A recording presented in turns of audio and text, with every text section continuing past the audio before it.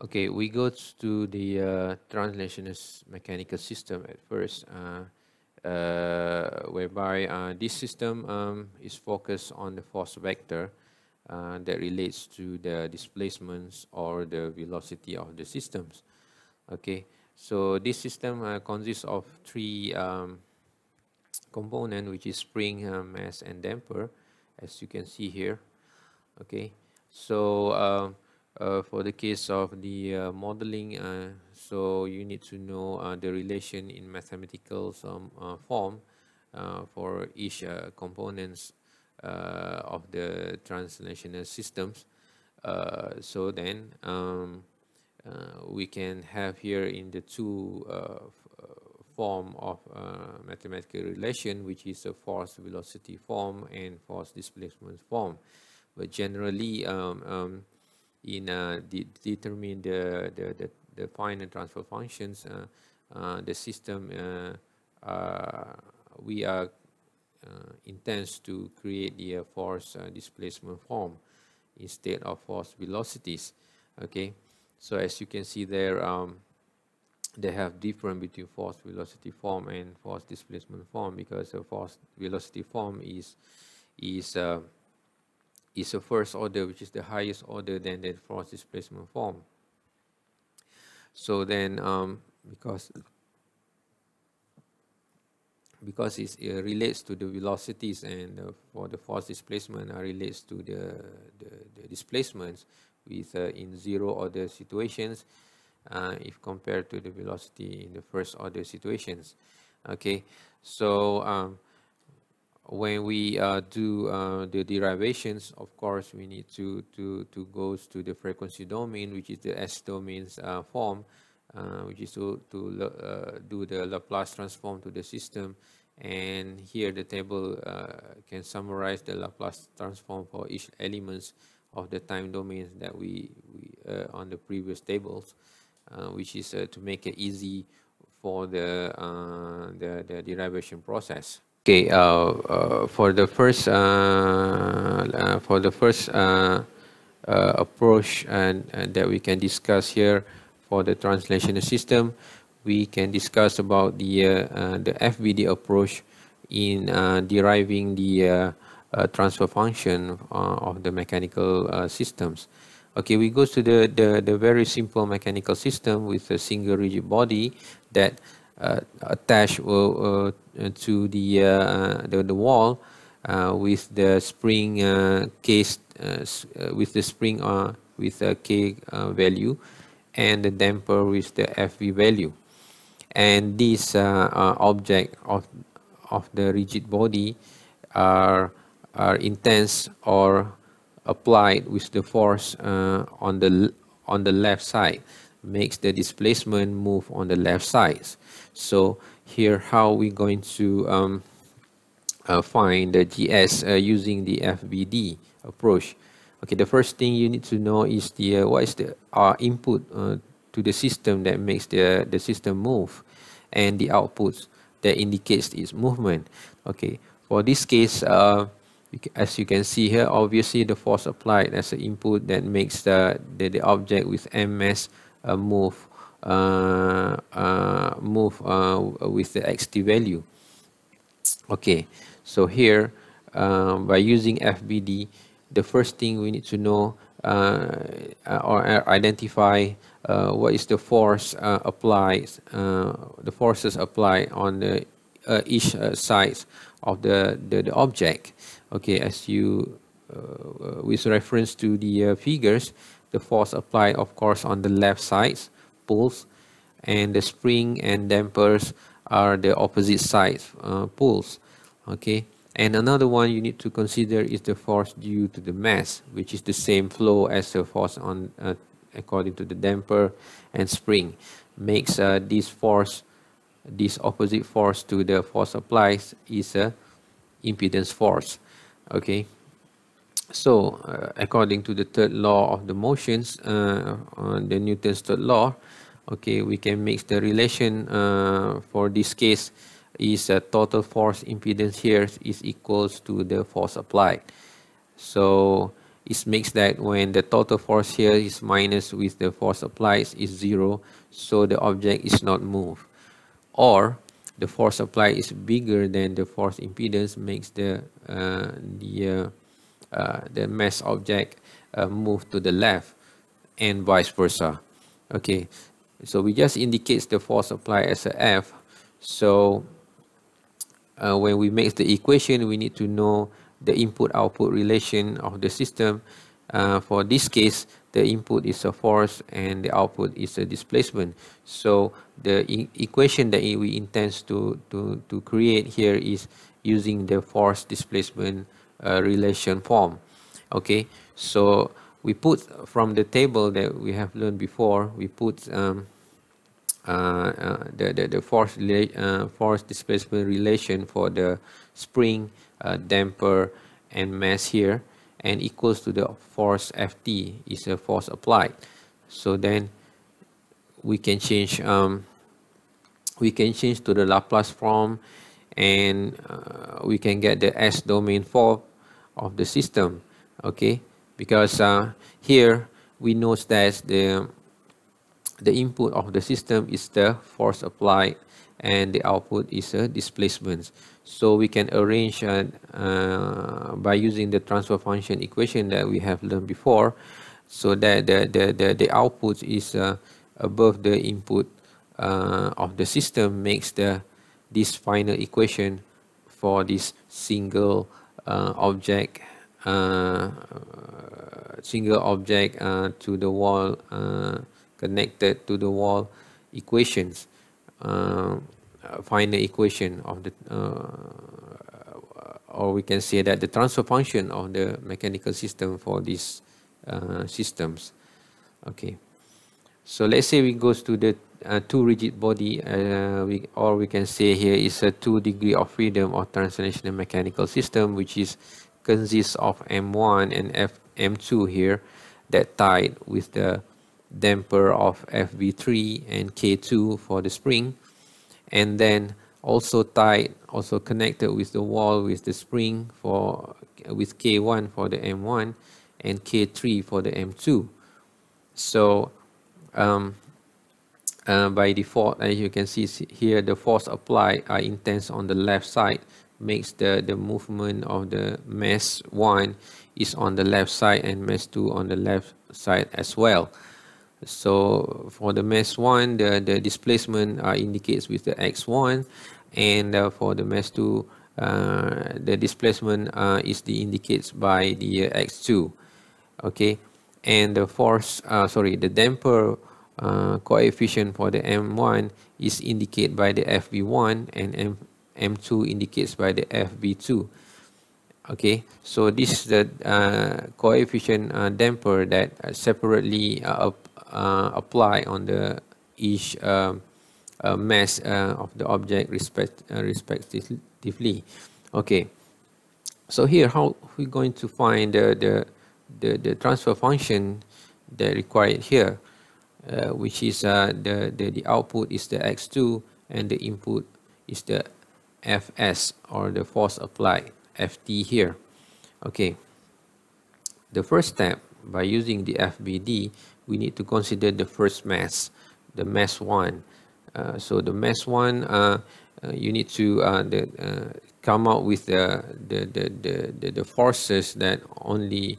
due to the motion of the M1 itself. So because this M1 is connected with the other mass M2 and not only connected to the wall. So first of all, we need to we need to determine uh, the, the, the, the forces uh, that react uh, or apply on the mass one according to the uh, connection with the wall. So here this is the force that we can draw. Okay, so the next one we need to um, uh, the, the, the, the, the force uh, the forces that that that, that apply or re react due to only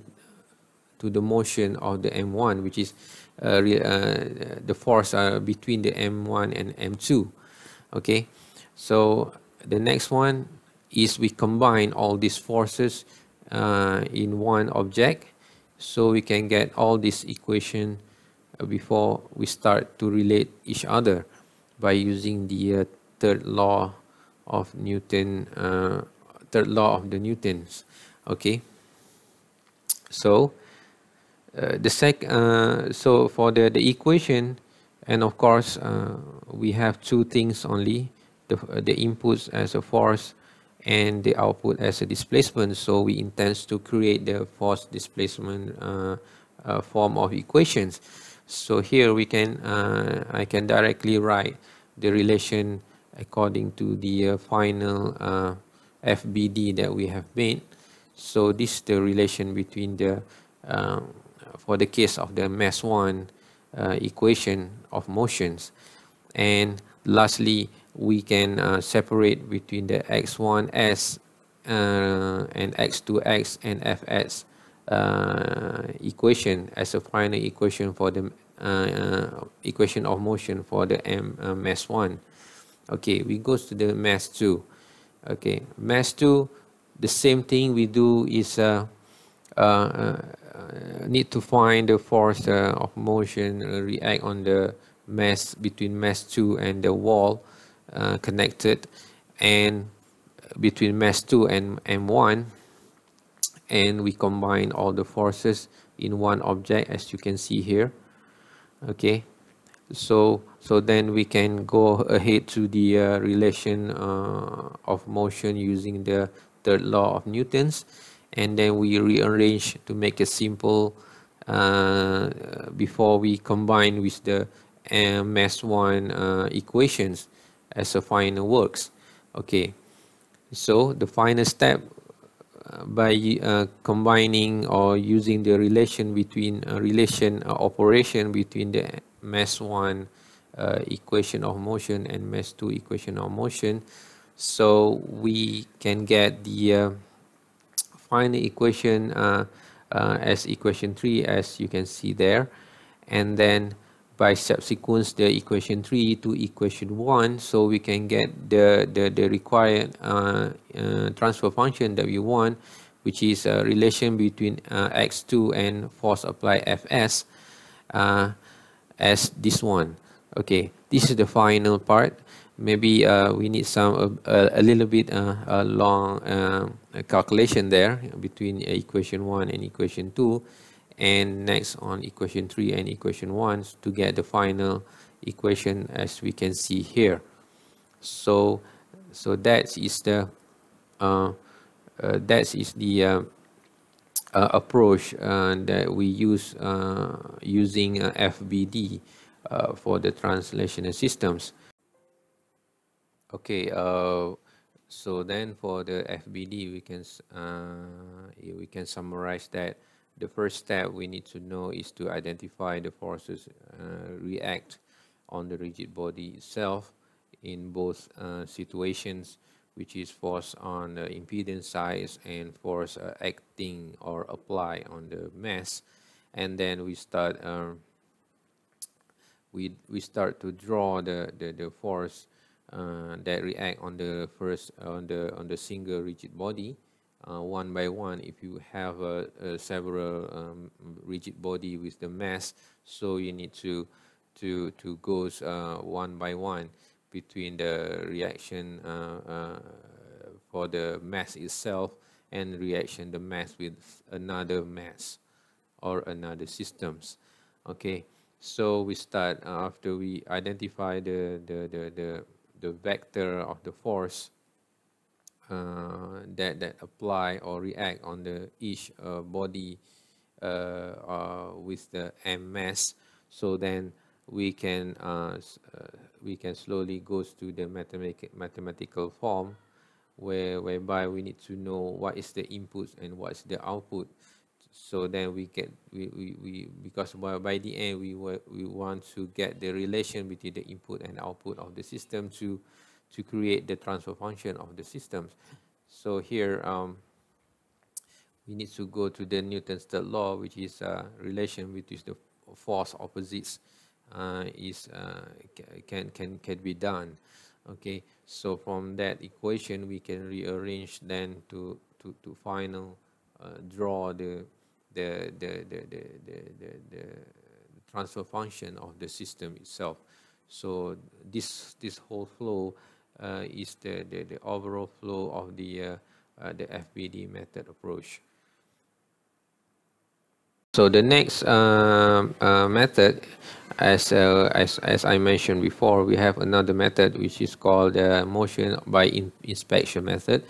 I can see here is the EMI, whereby we rearrange the impedance connected to the motion uh, to the motion uh, of each uh,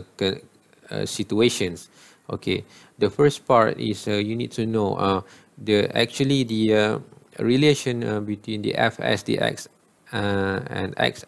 xx or the displacement force and displacement is actually uh, the, the the impedance form of the systems as we can see here um, the force applied is actually is equal to the impedance uh, motion of the systems uh, according to the according to the third Newton's law. Okay so uh, we need to use this uh, relation to identify uh, or to derive the transfer functions uh, is actually similar to the mesh network in electrical systems. Okay so let's say we go to the the third uh, the, we have a more complex uh, three degree of freedom of the systems which is, is difficult to maybe difficult to use the FBD so let's say here we have M1 M3 and M2 so we can list out here, we have a displacement of x1, x2, and x3. Mass, we have m1, m2, and m3. And for the spring, we have k1 and k2. Viscosity, we have 4 viscosity here. So uh, for the mass itself, and also the connection, also uh, uh, between the mass. And the force applied only Ft on the left side as we can see here okay so uh, the first thing by using the EMI you need to know um, uh, for the M1 as uh, at first so relation on the M1 you need to know the sum of the connected to the X1 which is uh, a multiply with the X1 and for the sum between the X2 and S1 and X2 which is multiplied to the X2 and sum of impedance between uh, X1 and X3 which is multiplied with the x3 and equal to the sum applied force at x1 because this one is for the mass one. Okay? So here uh, we need to go to the m2 relations. So the m2 relation is a of course is a uh, uh, is a the, the sum of the between the x1 x, x2 will be the uh, opposite with the x1 so they, they become they, they're written with the negative here. And the sum of impedance connected to the motion of at, at x2 that multiply with the x2 is a positive here. And the positive and negative here is because uh, uh, the, the relation between these two are opposites. Okay for the sum of the impedance between x1 and x2 is the opposite uh, to the uh, sum of impedance motion at x2 so it needs to minus with the with the x3 and that one is the sum of applied force at x2 okay because this one is according to the m2 okay. So next is the m3 so the same thing uh, we, we written for the x3 which is uh, m3 sorry which is according to the x3 okay. All right so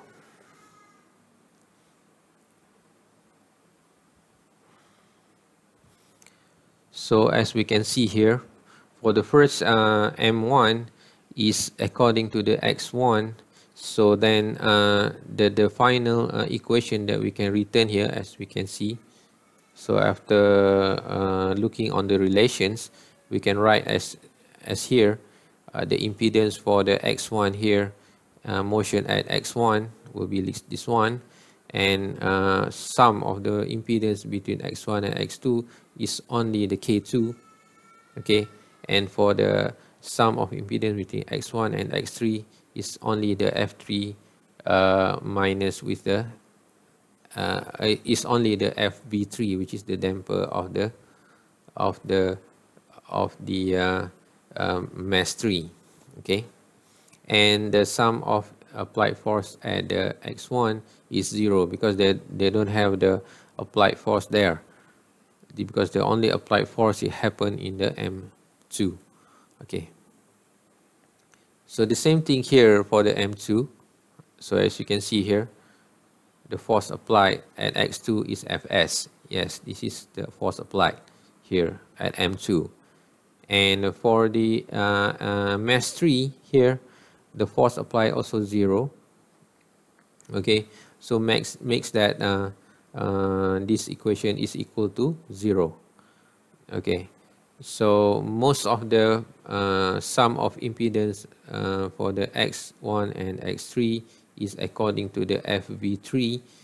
and f uh, for the x2 and x3 is according to fv4 so they take this one and this one for the sum of impedance for the case of these two uh, relations. And for the case of the uh, connected to the motion of x3 okay? It means that uh, uh, there, there are summation of the uh, viscous damper for the uh, between the m1 and m3 and m2 and m3 okay. All right um, so we have these three final equation for each mass. So we do uh, some uh, parallel equation and equality operations. So finally after long calculation we can get the the the, the required transfer function between x1 and fs as as as follows. Okay? So this one you need to find out by yourself because it's a very basic uh, mathematical operation or and relation that we can we can do. And uh, the lastly why we get this one because uh, we assume that uh, all the values for the mass uh, stiffness k and uh, viscous damper fv is equal to 1 okay? So we the defining equation is going to be like this. All right so it's easy for you to put uh,